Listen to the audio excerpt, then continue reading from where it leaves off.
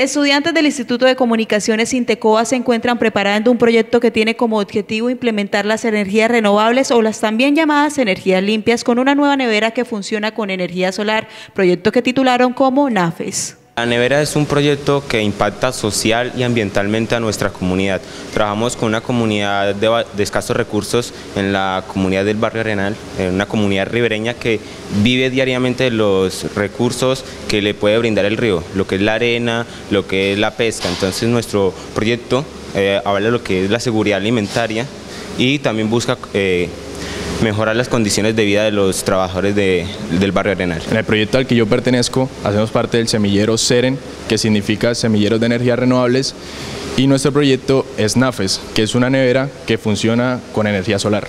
Por medio de este proyecto social y ambiental, los estudiantes buscan ayudar a las familias de la Comuna 1 del barrio Arenal. Cabe resaltar que estos jóvenes buscan visibilizar las investigaciones que han realizado en su institución educativa.